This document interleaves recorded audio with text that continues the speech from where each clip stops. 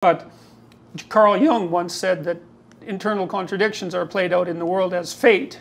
You know, is that the thing about propositions, if they're accurate, is that they represent real states of being in the world. And Okay. if you entertain a set of propositions that are internally contradictory, then you're going to run yourself into all sorts of sharp objects and and and and, and dead ends. And that's exactly what's happening. And it, it, it, it every time, and I've thought this really for three years, every time you think that there's no possible way that this can get more absurd, then one more example comes up where it's more absurd. And I would say the situation in BC is precisely that. I mean, one of the women that he's persecuting, because I think he and this terrible bureaucracy is persecuting, was a immigrant woman. I believe she was Muslim, who had a an aesthetics uh, Yeah. business in her own home, In and as a consequence of of the negative publicity or the publicity and the pressure, she shut down her business. shut- you know, and has. God only knows what that means for her family and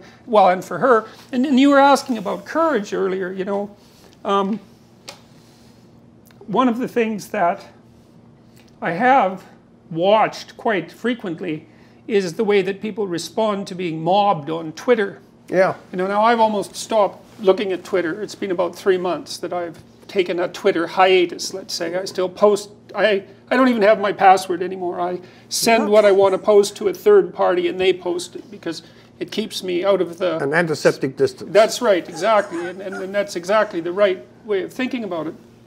You know, people, civilized people, and, and I mean that in, in, Yeah. in civilized, socialized people, cannot tolerate being mobbed. Because, No, they can't. Because, and there's a reason for that. You see, you, you said, with regards to the British Columbia uh, Human Rights Tribunal, you know, if there's 16 people on one side and one on the other, you might be thinking that the 16 people are right. More or less. Right, right. But then you think think of the situation where you've said something on Twitter and you know a thousand people Yeah. mob you publicly.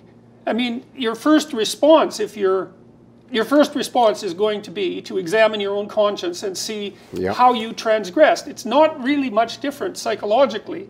I mean, it's lesser, I suppose, but it's not that much different than waking up one morning and coming to your door and finding a mob of your neighbors angrily aggregated on your lawn. You know, it's a terrible shock for people, and it really hurts them. You know, they're often they're often, by all accounts, you know, damaged for lengthy periods of time by this, and and their first their first impulse is to apologize, which is which is truly the wrong thing. Like the right Yeah, thing is. to do. It's stand. Well, the right thing to do is to is to is to understand that if you haven't done anything wrong, you have, you don't apologize. Now that's a very difficult. Yeah, it's very difficult. And then to wait, because if you wait two weeks, people will come to your defense. Yeah, they But it takes the people who will come to your defense two weeks to get their act together, where it takes the activists who are unbelievably organized 15 seconds to mob you. Well, there's two, two points to draw out of there. First of all, because you have now been almost fire hosed uh, into the world of celebrity, multimedia, and vast attention. Uh, I've dabbled in a a lesser zone for a long while, so you, you adjust to the kind of swirl, okay? But what I've never forgotten, and I'm serious, uh, is that people who are not in it at all, uh, my father, or the mechanic down the road, or the doctor over here, doesn't have to be class. If you haven't had media, and if you haven't adjusted to it, and suddenly your name, I'm just backing up your point, your name suddenly becomes the center of, of some great Twitter snowstorm uh, in pejorative terms, and people are speaking of you in with the most vulgar uh, responses. It is a terror. Uh, it isn't to me, because I, I dismiss it, but people who have not experienced it, it is really, really, really something that it's an unbearable pain Yes. and they bring it down with club force and the great uh, the great megaphones of national networks in the states, etc. Uh, you can expunge a person's personality with this kind of brutality. Yes, well, and it's permanent, right? Because the record never disappears. And I, I want I put a personal question to you now. When you, because I, I know you had been on YouTube, you play, you knew the media in that sense, but you weren't a media person.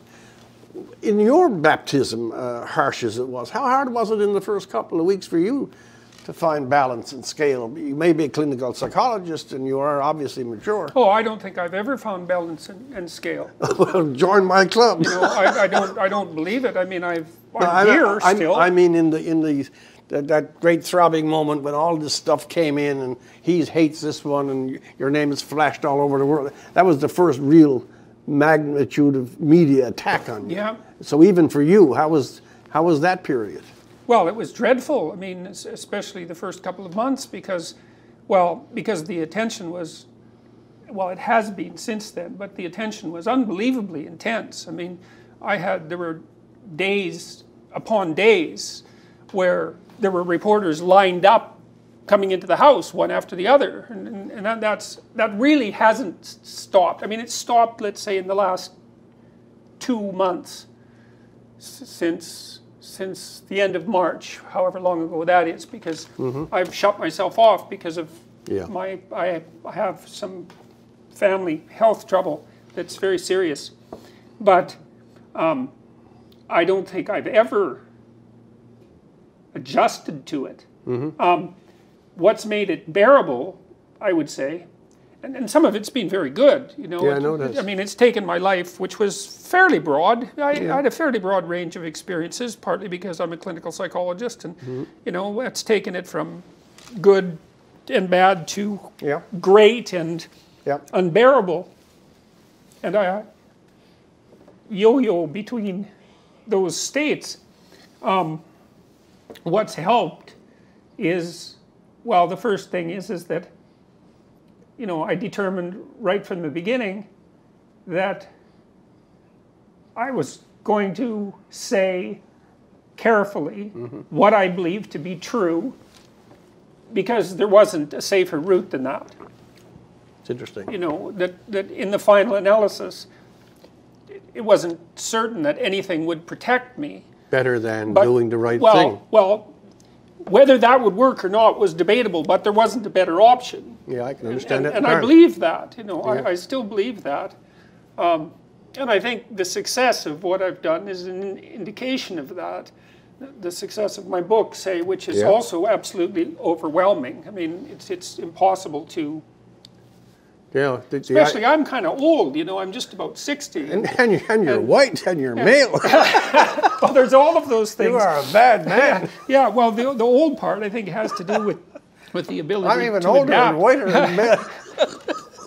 Yeah, well, but, you know, it, it's, it's fulfilled, and the lectures and the podcasts as well, um, and the YouTube videos, they've fulfilled a need, which also is something that's very difficult for me to to reconcile myself to. You know, I mean, on every time I walk down the street, someone stops me. Someone stopped me on the way here. You know, sure. and and as opposed to my treatment at the hand of a minority of journalists, which has been atrocious upon occasion, and, and academics as well. The treatment I receive from people in public is so positive that it's almost unbearable. Let me tell you a, personal anecdote that relates to you. Uh, I don't mix my old stuff with family members, but my sister is a non-political kind of person, and uh, as I say, I don't mix those things. She called me, and she's out of this world altogether. She called me about I don't know a year ago. Have you seen Dr. Jordan Peterson? Do you know Dr. Lovely stuff. And she was following the videos, the, the biblical uh, lectures. And Yeah. She's a smart, uh, nice woman. And then that was one thing that, that was unsolicited. She's not in the world of publicity. She doesn't follow fads, but somehow your name got in there, and she's watching these with great attention, great enjoyment actually. But the better one, won't be particular, friend of mine from home, uh, never finished school. He's about 55, 56, so we're not into the teen cohort, Yeah, certainly 20. yeah. And he calls me up. I don't think he's read a book in six years. And he says, I've been watching this Peterson fellow. And you know, I can't re- reproduce what he was saying. It was just that he found such comfort Yeah. and he, he found such support. And my thought when I was hearing this, it was some way to relay it to you in all the, the ping pong back and forth that you're going to. Yeah. These voices are saying something. You're doing something really fine for people that I, I could never project would be receiving the message. It's it's it's and, and, and it's very. This is also something that's been very difficult to both understand and I would say in a strange way to tolerate because um, I've become opened up to the trouble that people have in a way that far exceeds even what I experienced as a clinical psychologist. yeah.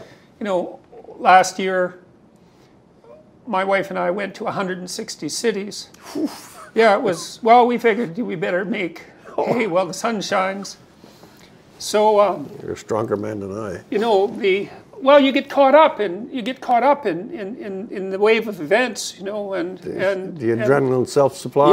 yeah, well, and it was it was it was exciting and worthwhile, and the demand was there, you know, and, and Yes. um, I enjoy lecturing, and I used the opportunity. I delivered a different lecture every night, and I used the opportunity to think, you know, and and to communicate, which of course is what you're, and in a, in a psychologically in a manner that I believed would be psychologically helpful, but it was also, I think, and I don't know exactly what the cumulative effect has been on me. Um, but I had no idea the degree to which So people were dying for a word of encouragement. So many people want. That's what my friend was about. I'll- I'm speaking back to you now on the same thing. I know what he was saying. He had felt no soft rain for a long, long time. Yeah, And he was in this camp of the truly neglected. yeah, yeah. You're yeah. uneducated, you're not particularly sophisticated, got a low paying job. Who gives a fuck about you? yeah, And then someone is out there of stature and, pre- and credibility, and this guy who would never be in your circle, never. Yeah, You, you send an echo ping to him, and he was calling me to say, "My God, this is so good." So, allow yourself to feel good. yeah. Well, it, it, the thing is, the funny thing is, is that it, it, it doesn't feel it doesn't feel good.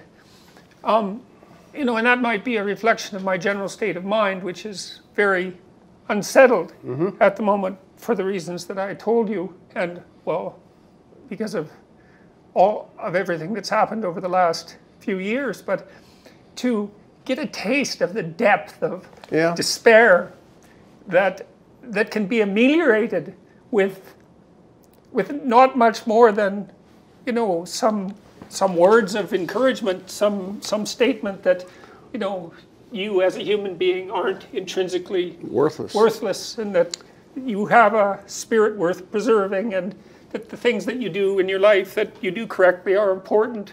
It's like people are literally dying Yeah. for lack of that. And I, and I mean that i mean that No, I know I uh, know honestly. I, I don't know how many people have told me and these are very hard things to hear.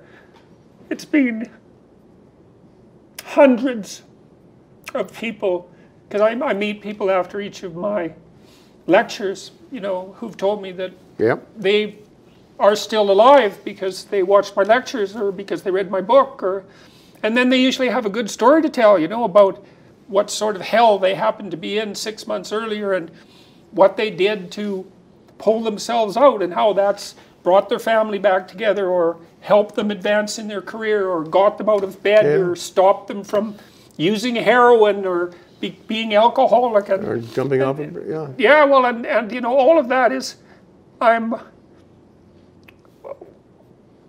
Is it something that you, at some point, have at least to shield against? no, No.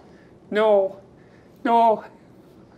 It's, it's, well, and I'm, I'm in, in these interviews, and, and more frequently, I've tended to get emotional, and, and the reason for that is the f- health problems that are plaguing my family, at least in part. I'm, Yes, I understand. Um, so that makes me more, much more fragile than I should otherwise be. Just despite my, despite my exhortations to people to, you know, bear their bear their cross.